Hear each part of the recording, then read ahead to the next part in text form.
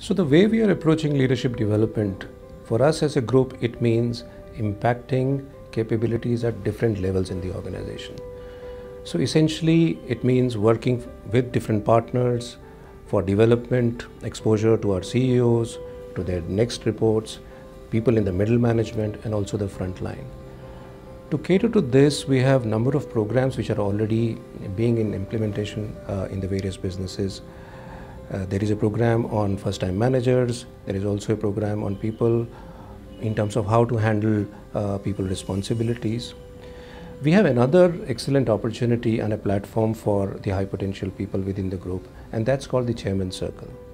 This essentially involves people being selected after a very rigorous selection process, which involves a battery of psychometry tests and other cognitive measures, and finally selecting them through a panel interviews.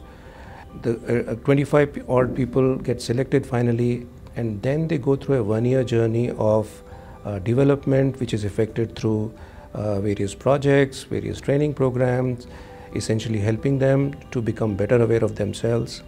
And finally, these people are uh, meant to take up opportunities in the higher management over a period, over a period of few years. For us at CK Birla Group, the leadership development agenda actually flows out from two things. One is as an enterprise, what is our growth aspiration? How much do we want to grow? And secondly, to ensure that the people who are fighting it out at the marketplace are they equipped with the right skills for today and also for tomorrow. Essentially, it means building up leadership as an ability, both in terms of behavioral skills and the functional skills. But what we try and do more differently is that the leadership journey is all about, firstly, as self awareness, in terms of knowing how you are being experienced by people around you. The way we are organized as a group provides enough opportunities for talented people, high potential people to build their careers moving from one business to the other.